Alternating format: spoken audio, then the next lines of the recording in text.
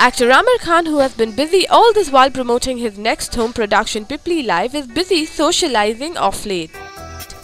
After following friend Salman Khan on Twitter, he has now decided to follow actor Shah Rukh Khan.